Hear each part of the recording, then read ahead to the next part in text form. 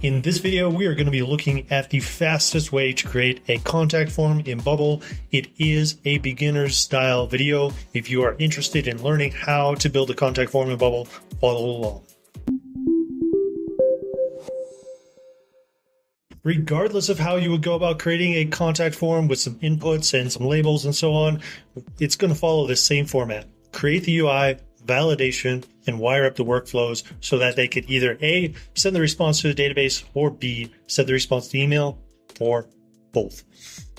In this one, the reason why I say create the UI could be anything you want is because, well, we're going to use this kind of blank canvas here, and I'm not going to go about the uh, traditional way where I could go and grab some inputs. And again, this is for really the beginners out there who want to see, you know, just how is it to build something uh, like this. And typically, folks, I would imagine, are wanting to just get something up that's functional. And so that's what we're going to be all about in this video. So I'm going to head over on this top right. You saw me click components where there's a couple different options here for different forms. And these are actually sign up forms, but we are going to repurpose it. And I'm just going to give this a nice roundness to match the roundness I have. Actually, that would be this one. And so under appearance on an image, if you want to define the borders independently, which I do because you can see I want the top right and bottom and bottom right to both have 32. But I really don't like I'll, have the image uh, stay normal there. And let's go ahead just for funsies. We're going to give it this image here, and then let's repurpose our form fields. So basically, any type of contact, it's going to have a maybe a name, maybe an email, and then maybe a message. So I'm going to go replace element type, and I'm going to do search for multi-line input, and then I'm going to stretch this out from 148 to, or from 48 to 148, basically. And then I'll just go ahead and delete this section out here. And then I'll say here, get in touch. So really the, uh, and actually I wanted to hit that because basically all of these workflows I want to delete out. I want to set up my own. And we have gone and taken the step to create the UI. Now let's look what type of thing we would do for validation. So basically the way that it will work is that we want this input to be checked as should not be empty. And it is. So great. Same for this email. This one should not be empty. So that is uh, and same for this name. Basically, all three of these we're going to say are required. Now, if we want to get something special here for this uh, asterisk, let's just go into our rich text editor here. Let's add an asterisk and let's give it a special color. There we go. And let's go ahead and add that to all of these because I think it would make sense that if somebody's getting in touch, let's get their name, let's get let's know what they're getting in touch about.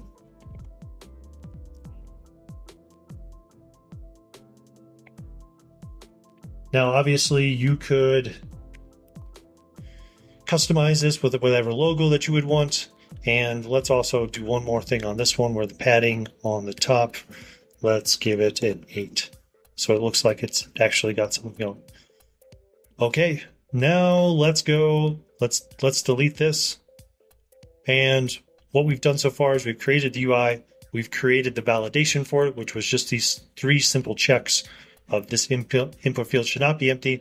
Although I want to say here, this one is an email, and let's double check this one.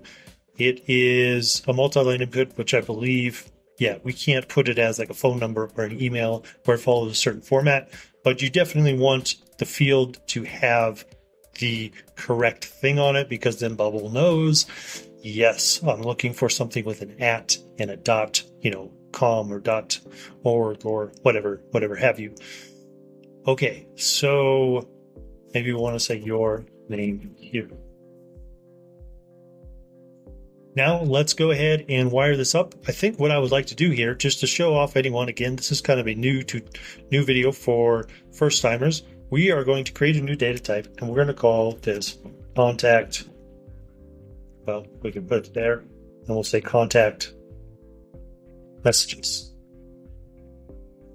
And we'll just say name, that'll be a text. email. That'll be an email because there's a number of things. Okay, that'll also be a text. And then there is the message. There's a number of things that, uh, you know, you might want to store these, put them out you know have it have a table in here where they could be displayed where somebody goes and responds to them. Probably though it's easiest to have them be emailed. So let's go and see this wire up the workflows now. Where we'll save it to the database and we will also send it as an email. Uh, first let's go ahead and save it. So we're going to do create a new thing where we will create this new contact message that we just made going to click all fields and then we have a couple of inputs out there and it looks like we also have some additional hidden stuff in here because, you know, there's like sign up versus log in. So there's a, probably a group out here with some additional things in it. Yes, that would be this group login, which we'll just go and delete. That way, when we go here, when we do input, we should only see the three that are actually visible. So we want the email, the uh, incorrectly labeled password, which is now we repurposed for message, and then the name, which we can just go for good hygienic. This would be input message, which you can note that it also changes and updates here.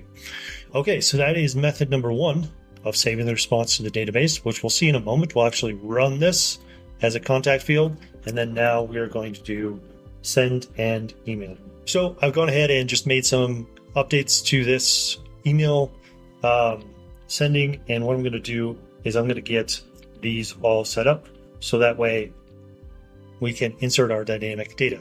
And, you know, I don't necessarily need to copy and paste these over. I can directly um, find them from here as well. But I just want to show people that that is available in case you were not aware.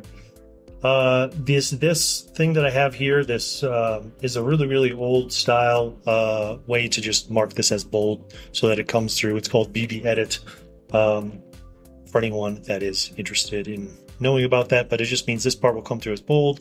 The messages, the stuff will be there. It's a new contact message. Now, I do also want to do something special here. Check this, select this uh, different reply to address because then that way we can put in this one. So when we reply to the email, you know, we can just directly reply to it. Okay, so that's it. Now let's go and give this a test.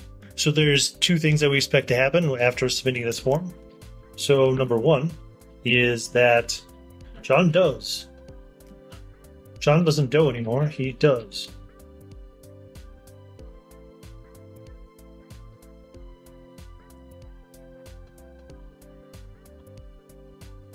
we expect to see it A, create this record in the database, and then B, send an email.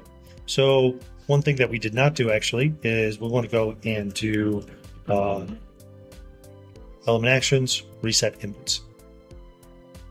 But let's go check out our database. So, for this contact messages under app data, we can head on over to contact messages, and there we see it that it's been added and saved here. And then also we can check over here, new contact message, that this person, this was this bold uh, stuff on the text here, John does, at John does, whatever.